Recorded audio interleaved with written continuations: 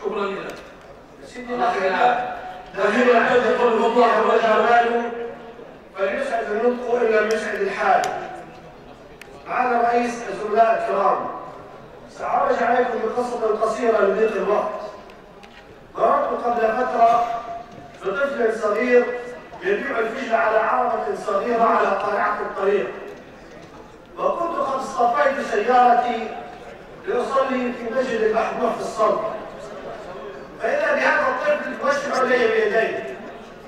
فاقتربت منه ودار بيني وبينه الحوار علمت منه أن أمه مريضة. وأنه يسكن من الصباح إلى المساء ليجني بضعة دنانير فيعود بها إليها. أردت أن أمازحه وقد رأيت على وجهه نوعا من البؤس والحزن. فقلت له سأشتري منك الفجل كله إذا أعطيتني فاتورة. فتعجب الطفل وعلمت أنه لم يفهم ما أريد. فقلت له إذا أنت تتهرب من الطريق. فخاف الطفل. فقلت له لا تجزع أن حكومتنا لم تبقي أي شيء. وخشيت أن أحصله. ثم اشتريت منه حتى ضحك وابتسم ومضيت أفكر في تلك الحالة. فتذكرت الشاعر التونسي في قصيدته فاقتطفت بيتان لهذه الحكومة الرشيدة. يا بائع الفجل بالمليم واحدة؟ كم للعيال وكم لحكومة الملقي كأن أمك حفظ الله غيبتها أوصتها فقالت عليك بدفع ضريبة الملك.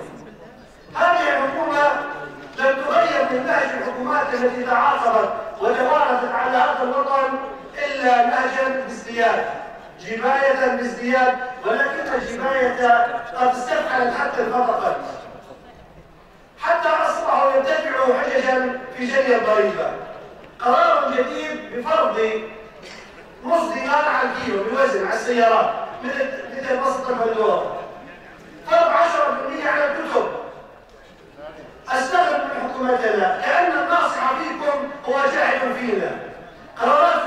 عشوائيه تخبطيه حلول اليه لا يؤمنون إلا بفرض مزيدا من الضريبة. ثم يقولون لن نمس الطبقه الفقيره والطبقه المتوسطه فمن تمسون اذا بل لا تمسون سواهما.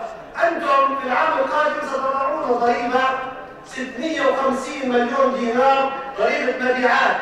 يدفعها الطبقة العامة من المجتمع و10 مليون إضافة على ضريبة الداخل اللي يدفعها الغني أين العدالة الضريبية؟